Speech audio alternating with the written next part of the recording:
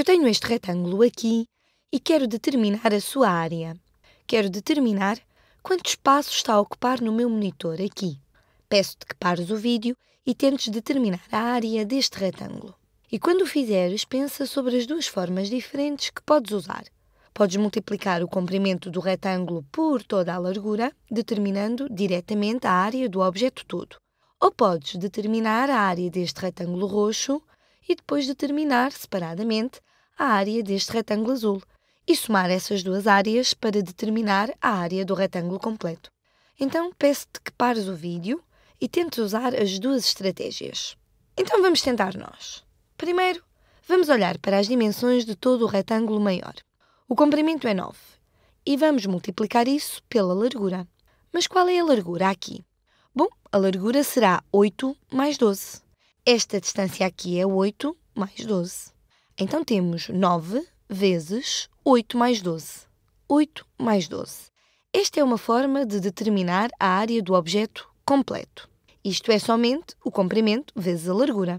8 mais 12, obviamente, que é igual a 20. Mas a outra maneira de fazer isso, e isto tem que ser equivalente porque estamos a determinar a área do mesmo objeto, é calcular separadamente a área destes dois subretângulos. Então vamos fazer isso. E tem de ser igual a isto aqui. Então, qual é a área deste retângulo roxo? Bom, será o comprimento, será 9, vou fazer na mesma cor.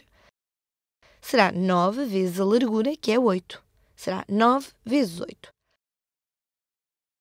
E depois, qual é a área deste retângulo azul? Bom, será 9 vezes. Então, a altura aqui ainda é 9. A altura é 9. E qual é a largura? Bom, a largura é 12. A largura é 12.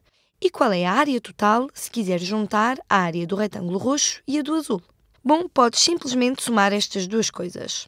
Podes somar estas duas coisas e, logicamente, ao somar estes dois, tens a área de todo o objeto.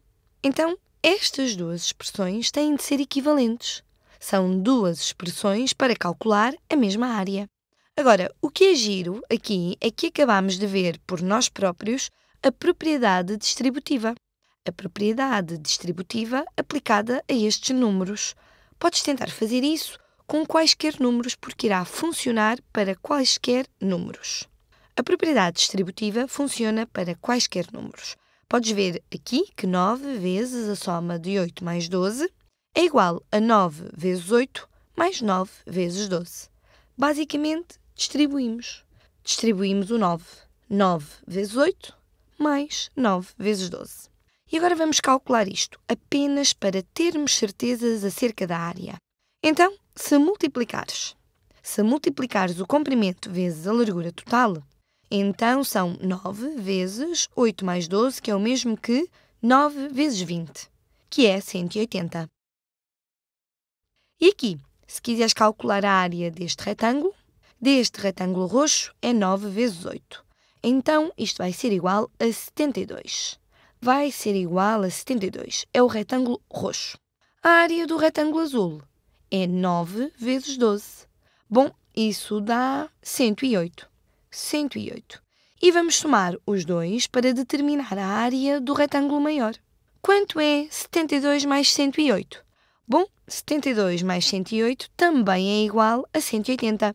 Então, verifica-se. Estas duas expressões são de facto equivalentes. Quando as calculamos, obtemos o mesmo valor.